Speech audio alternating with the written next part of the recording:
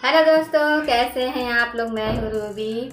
आज हम बनाएँगे साबुदाना शरबत। हमने गैस ऑन किया, कढ़ाई चढ़ा दिया। इसी के साथ हम साबुदाना को बनाएँगे। तो हमने साबुदाना के लिए भगोना में पानी चढ़ा दिया है, ताकि दूध उबलते वो जो दूध में हम जो प्रोसेस करेंगे, उसके करते करते हमारा साबुदाना भी बन जाए और समय भी बच जाए। यहाँ हमारा दूध उबलने लगा है।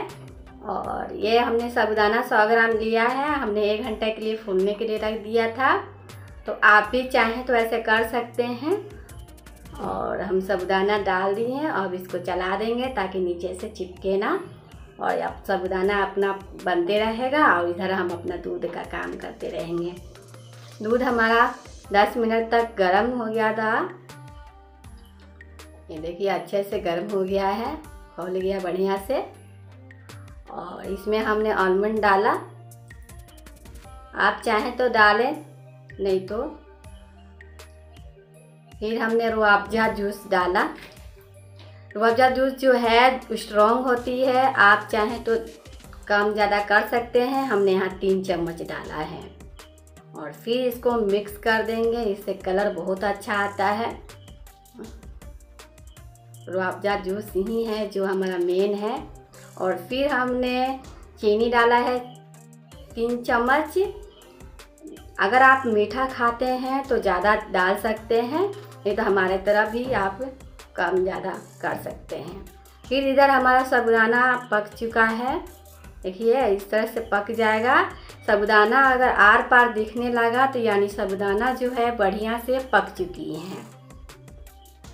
वही मैं चेक कर रही थी कि मेरा साबुदाना पका कि नहीं। फिर हम इसमें डालेंगे इलायची खुशबू के लिए, अच्छी खुशबू खुशबू आएगी।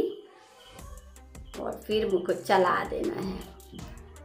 गर्मियों में पीजिए, पेट एकदम ठंडा रहेगा, मज़ा आ जाएगा। और यहाँ हमने जो साबुदाना पकाया है, उसको हम अच्छे से छान लेंगे और फिर ठंडे पानी से धो लेंगे ताकि इसका टेम्परेचर कम हो।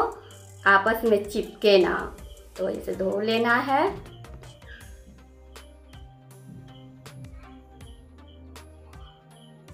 और फिर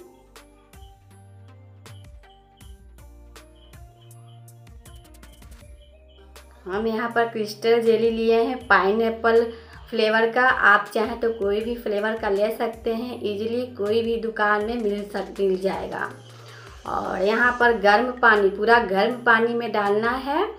ये पाउडर मैं डाल रही हूँ, ऊपर से इसमें जेली था जेली है, उसको हम डालेंगे और अच्छे से मिक्स कर लेना है। एक भी लफ्स ना रहे और एक थाली में इस तरह से पूरे थाली में फैला देना है और 45 मिनट के लिए छोड़ देंगे। अच्छे से जेली निकल जाएगा। और फिर हम अपना साबुदाना डालेंगे। ज़्यादा देर नहीं करिएगा साबुदाना डालने में, नहीं तो चिपक जाएगी। और फिर मिक्स कर देंगे।